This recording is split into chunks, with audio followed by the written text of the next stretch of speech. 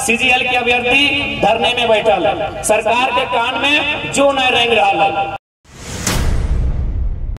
इस इजाक की मिट्टी में, इजाक ब्लॉक में कितने भाई बहन के माता पिता ऐसे हैं जो अपने बच्चों की नौकरी 27 लाख में खरीद के देंगे, ये उत्तर दीजिए लेकिन 27 लाख में पेपर लीक हुआ है। कितने माता कितने माता पिता ऐसे हैं जो अपने बच्चों के लिए 27 लाख में सीट खरीदेंगे। माननीय न्यायालय ने हाई कोर्ट ने झारखंड की सर्वोच्च मेडिकल संस्था रिम्स को फटकार लगाया है, अपने अखबार में पढ़ा होगा कि यदि आप व्यवस्था नहीं दे पा रहे हैं, यदि आप मरीजों को सुविधा नहीं दे पा रहे हैं तो अच्छा बंद कर दीजिए यानी शिक्षा शिक्षा व्यवस्था चौपट, हमारी स्वास्थ्य की व्यवस्था चौपट बताइए झारखंड राज्य क्यों बना? अगर मुख्यमंत्री अगर बीमार हो जाते हैं वो दिल्ली चले जाएँगे। मुख्यमंत्री अगर बीमार हो जाएँगे तो दिल्ली चले जाएँगे। राज्य से सुंदर राज्य पूरे भारत में नहीं है। अब बात करते हैं स्वास्थ्य की। ये जब झारखंड अलग होगा तो कम से कम हमारा हेल्थ कंडीशन बेहतर होगा। लेकिन आज आपको जानकारी होना चाहिए माननीय न्यायालय ने, हाईकोर्ट ने झारखंड की सर्वोच्च मेडिकल संस्था रिम्स को फटकार लगाया है, अपने अखबार में पढ़ा होगा कि यदि आप व्यवस्था नहीं दे पा रहे हैं, यदि आप मरीजों को सुविधा नहीं दे पा रहे हैं तो अच्छा बंद कर दीजिए। यानी शिक्षा शिक्षा व्यवस्था चौपट, हमारी स्वास्थ्य की व्यवस्था चौपट तो बताइए झारखंड राज्य क्यों बना? बताइए झारखंड राज्य क्यों बना? क्योंकि अगर मुख्यमंत्री अगर बीमार हो जाते हैं, वो दिल्ली चले जाएँगे। मुख्यमंत्री अगर बीमार हो जाएँगे तो दिल्ली चले जाएँगे। सांसद जी अगर बीमार हो जाएँगे तो दिल्ली चले जाएँगे। विधायक जी अगर बीमार हो जाएँगे तो दिल्ली चले जाएँगे।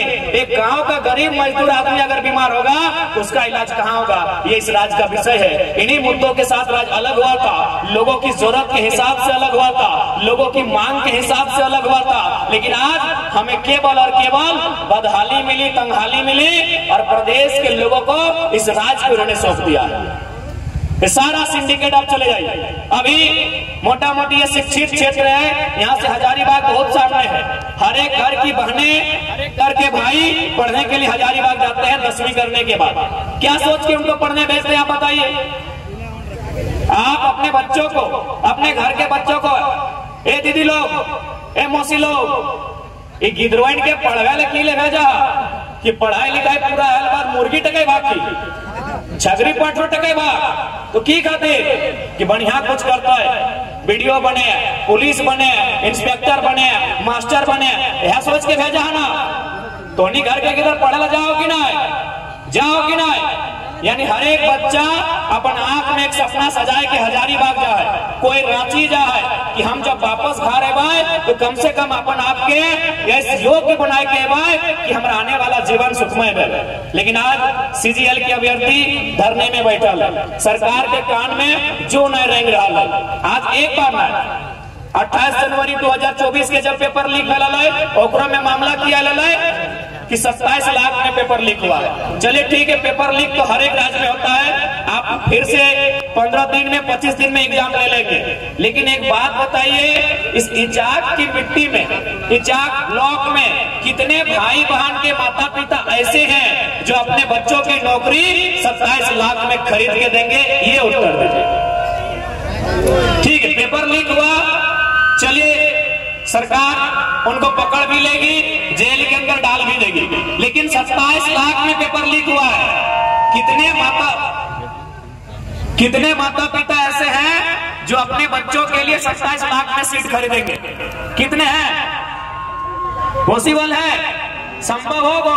तो बताओ, इतना हाड़ मांस गलाए के छगरी पटरो बेच के, साग सब्ज़ी उगाए के, दुकानदारी करके दो पैसा जोगाए के, बचाए के बेटा बेटी के पढ़े हजारीबाग पठाए रहा और आज सरकार सारा सीट, सारा वैकेंसी बेचे के काम कर इसलिए आज अगर हमारी सत्ता में आवा हो तो सबसे पहले स्टूडेंट के लेके जब पेपर लीक के मामला हो, और में एक जरा भी अगर फॉल्ट निकल लो तो वो पदाधिकारी कितनो कहना है बक्सल ना बल्कि कानून ऐसा मानतो कि जितना ऊपर लेवल के पदाधिकारी, उतना कम समय में निर्णय होता बिल्कुल नया बक्सल लेते